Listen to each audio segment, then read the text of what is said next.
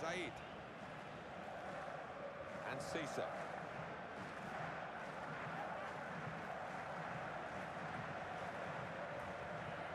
Put it in well. Cisse. And there's the goal!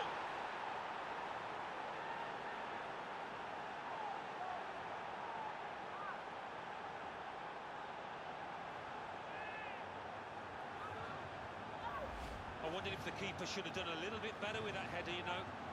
Good look here, again, by the replay of the goal. So the first goal, it's 1-0.